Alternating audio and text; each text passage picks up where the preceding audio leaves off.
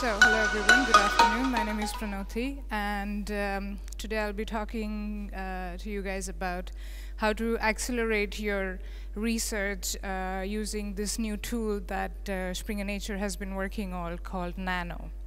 And uh, in the interest of time, I'll just directly cut to the, uh, get straight to the point. Um, as you probably already know, the field of nanoscience and technology is, um, is a booming field. It's ever growing, as you can see in terms of patents and the articles. Uh, this is good in the sense that it shows that it's an exciting field and it's very interesting, la la la. However, the problem um, or the other side of the coin being the challenges that are faced by the researchers like you are that there is a lot of data. There's a lot of information out there that is being published every day. That's one. Um, that, that's one challenge. The second challenge is that the information that has been published is scattered all over the place. It's in different journals, in different patent offices, and it's very difficult to keep an overview of what's going on or where the field is going or uh, what the, the group in the other countries are doing. So it's a bit difficult uh, in that sense.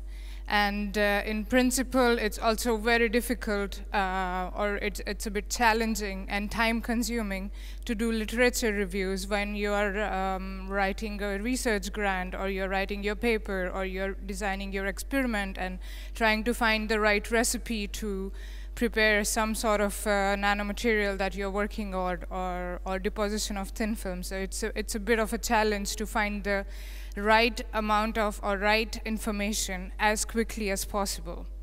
Now this is where um, uh, there are the data tools or databases, they're called, or repositories, which offer a solution. And for different, uh, sorry.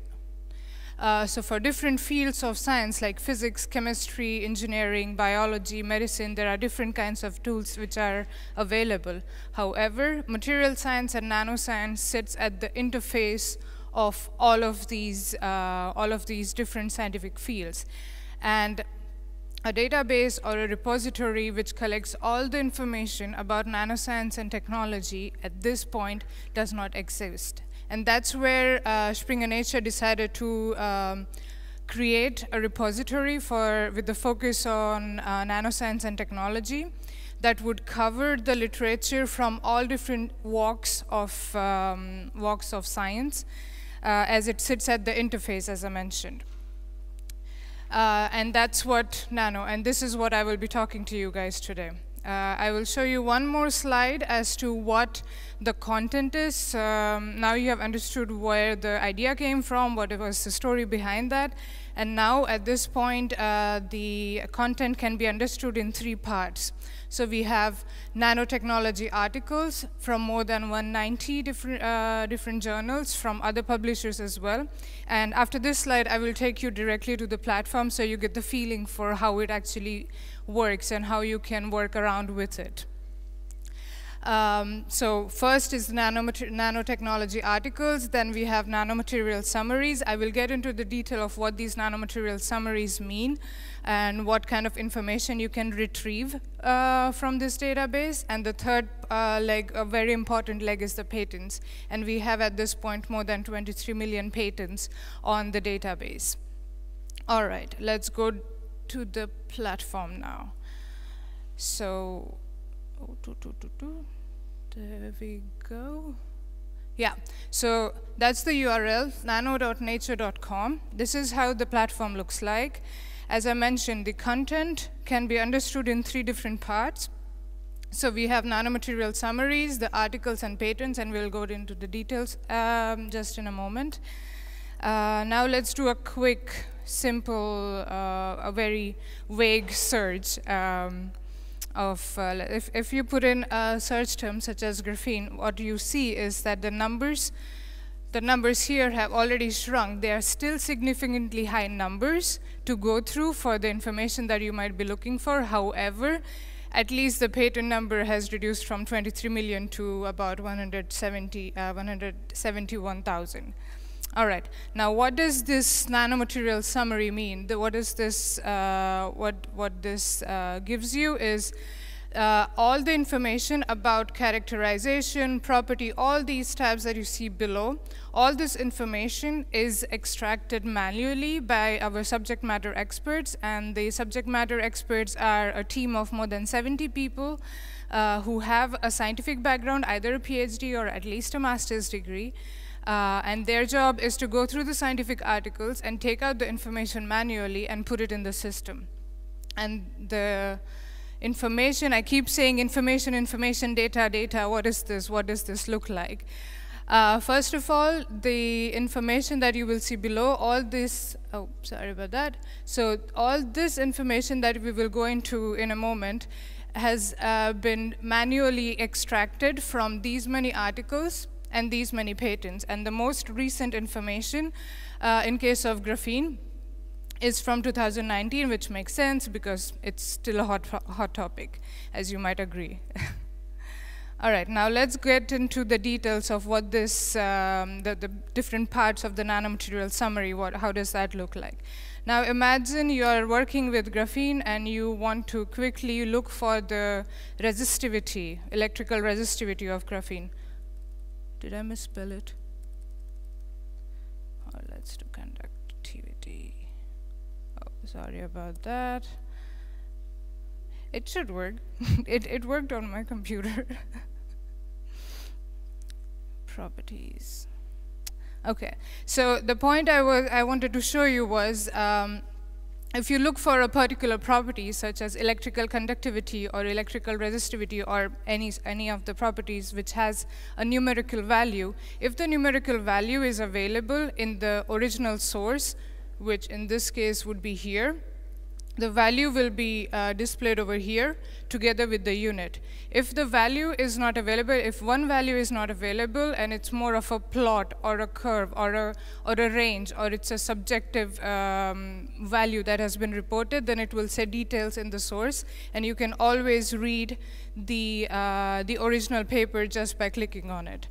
If it's an experimental paper, it will say experiment in. If it's a theoretical paper, it will say uh, calculation in. If it's a patent, then it will say claimed in XYZ patent.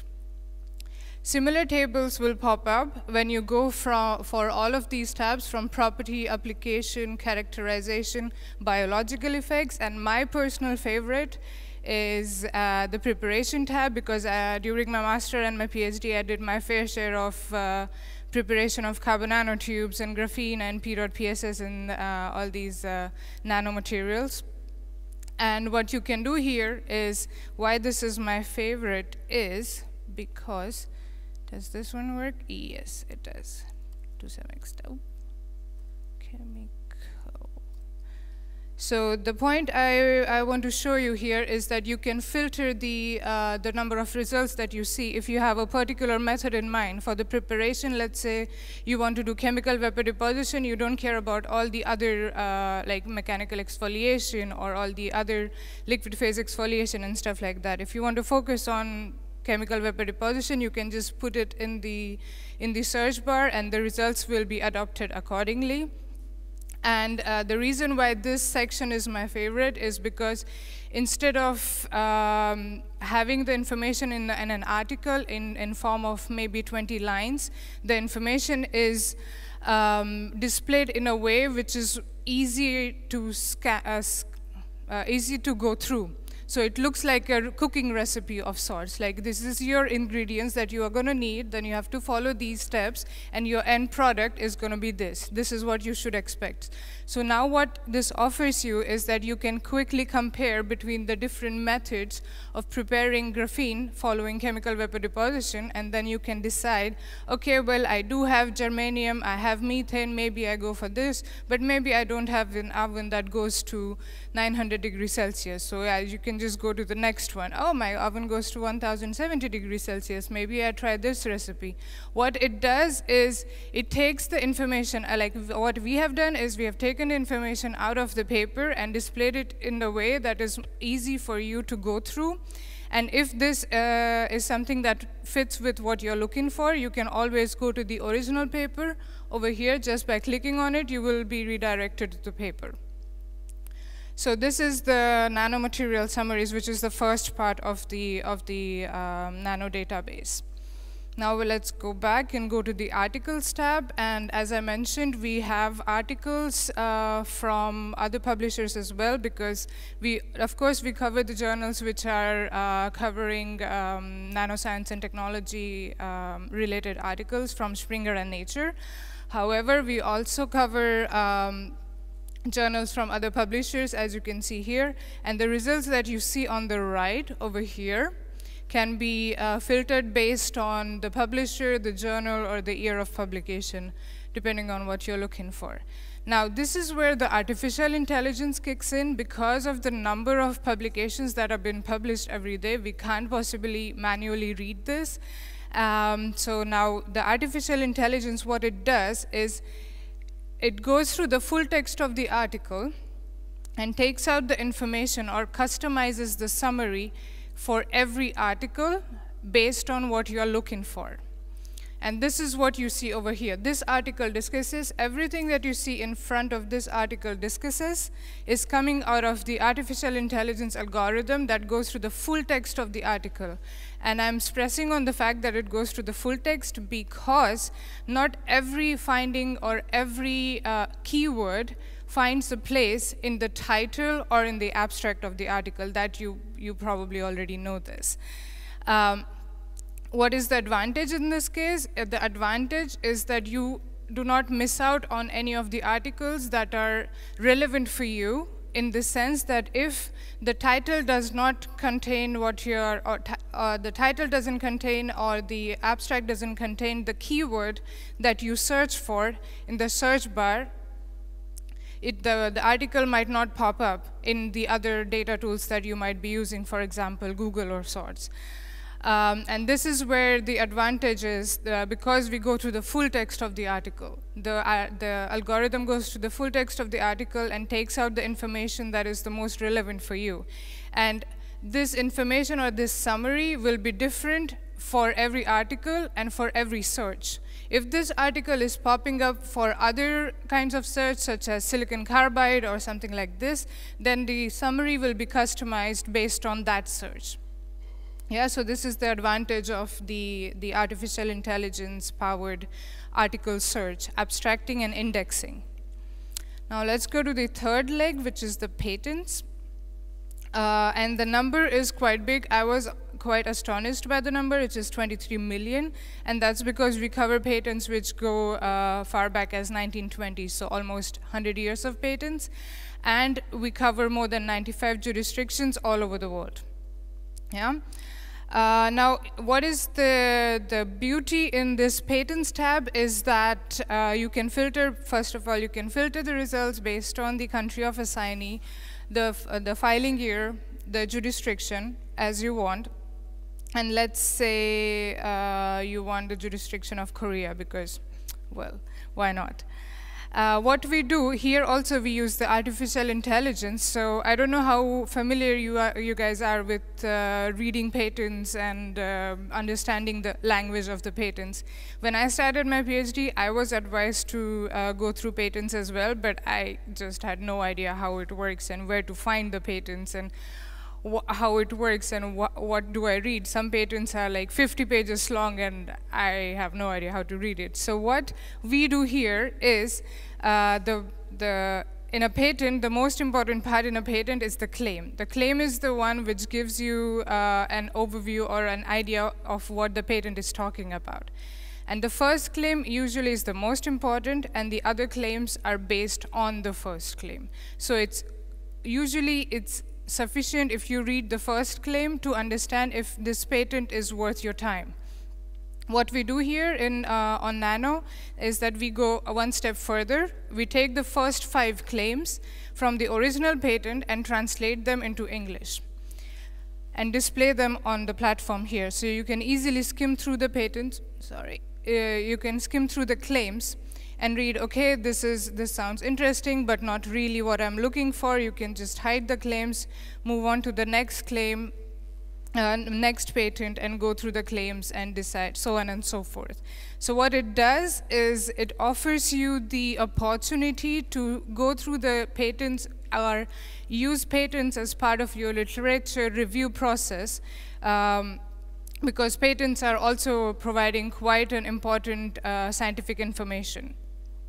So in a nutshell, in a very big nutshell here, Nano is um, uh, Nano was built or is being developed as well with the idea of bringing all the information about nanoscience and technology under one umbrella, and it consists of nanomaterial summaries, articles, and patents. Um, if you have any questions, please ask now, or you can also ask um, me or my colleague Alisa. We will be around during the lunchtime and also um, for the rest of the day, and I will also be available tomorrow. Uh, so thank you very much for your attention, and I look forward to getting your questions.